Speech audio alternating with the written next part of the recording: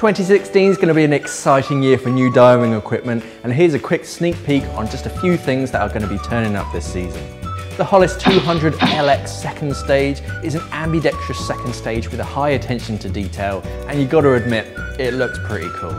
The Hollis F1 LT fin is a lighter and shorter version of the original F1 fin, so it's still great for technical diving, but it's great for travel as well.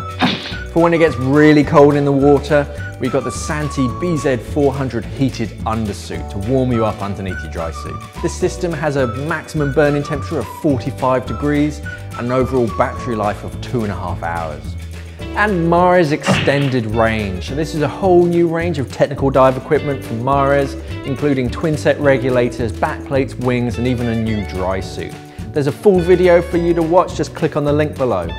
So those are just a few of the things that are due to come in the 2016 diving season. Which of them are you excited to play with? Comment below, and as always, safe diving.